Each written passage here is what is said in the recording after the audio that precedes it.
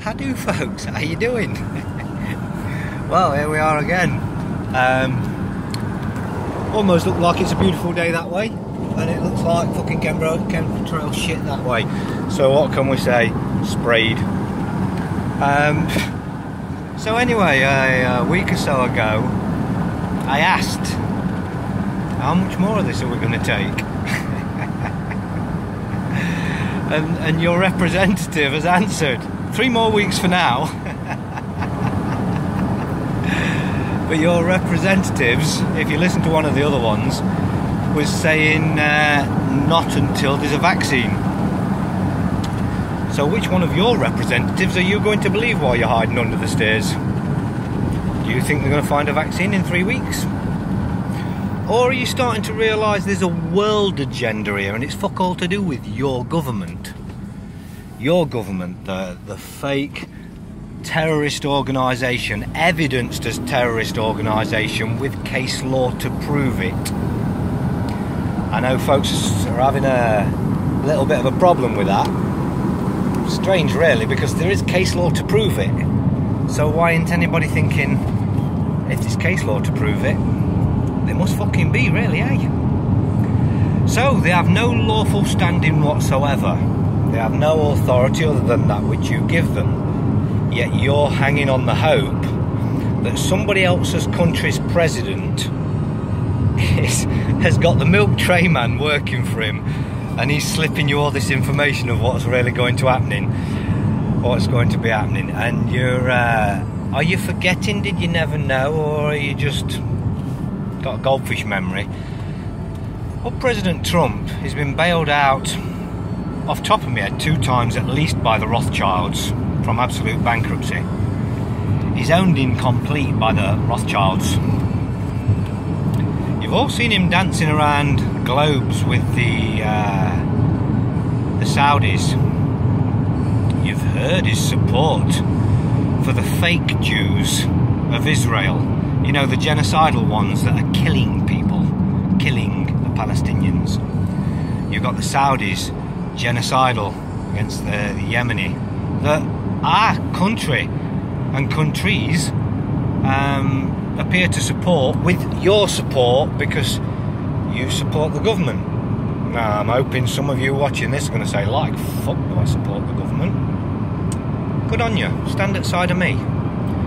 Because as far as I see, everybody's hiding under the fucking stairs, too shit scared to say anything in case they get a ban from Facebook or if they get a strike from YouTube. Fucking seriously? They're too scared to say something in case they're on a government watch list. Is that the fake terrorist organisation government? Well, if you're if you're watching this, the chances are you're already on the list. If they're going to come around killing us all, we're already all dead, aren't we? So, what's your acquiescence about? I would recommend anybody look for a YouTube video from Observation Deck, a letter to the future. Pay heed to it. Be ashamed. Pass it forward and stand on its fucking information. Because so far, all folks are doing is whining and fucking whinging on YouTube and Facebook. Now, personally, mean, most folk know I spend my entire life serving fucking notices. I've been serving notices on the government for at least six months, and I can assure you, at least 20 of those notices have been pertaining to this current situation. Yes, they're a terrorist organisation. I'm holding to them to account by law and case law. Now, whether it'll stop them or not, I doubt very much it's going to stop them. This is what I can do. This is what I can do. I had three heart attacks last week. Three. Been told my father, we're estranged, had a stroke last week. A stroke, he can't talk. That sort of stroke, yes, that far gone. Yet he was in hospital for two hours and they sent him home to die. He's not dead. Not that I've been told yet. But they sent him home to die. This is the NHS, you're outside clapping and cheering. Have you seen the videos that they're making? The dance routines that they've got time to rehearse while they're not, while they're not helping folk.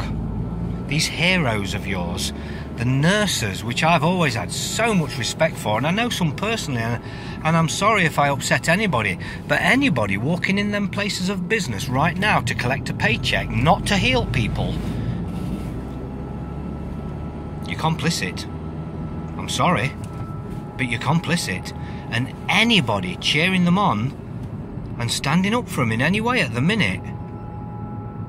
Seriously, have you had any family members go in there and they tell you to go home? Have you have you thought about what they're doing? Is that healing folk? Is that looking after folk? Is that the, is that your heroes coming to save you? Time folks started asking what's going on. Now I made a call to my doctors the other day, and I managed to get hold of a doctor, and, and I asked her, "What are you doing? What's going on? Seriously?"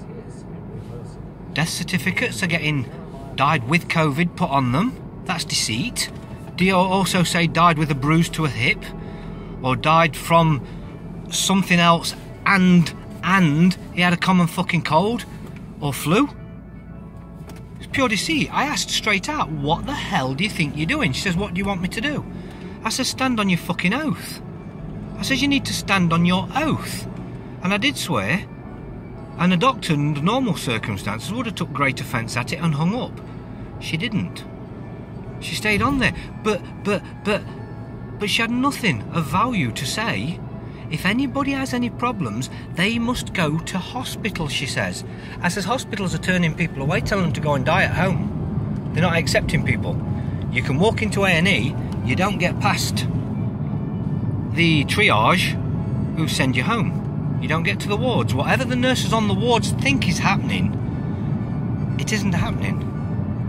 They're not getting past triage onto the wards. They're getting sent home. My own father, with a stroke, got sent home. I had two heart attacks refusing to go to hospital because I know the genocide they're up to. On the third one, my wife had had enough. She rang for an ambulance.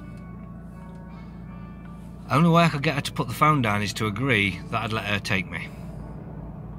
They sat me in a room for four hours.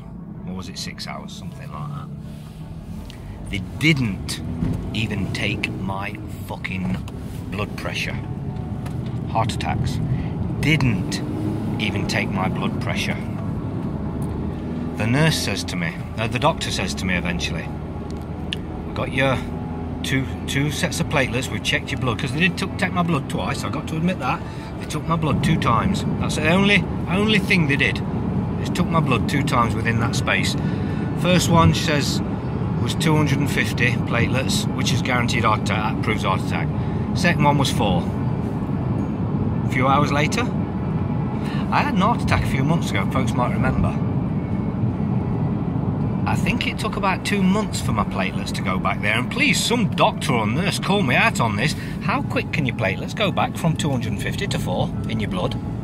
With no medication, no treatment whatsoever, just sitting in a room between blood tests. I didn't listen to any more. I stood up, I says, I'll go home and die, shall I?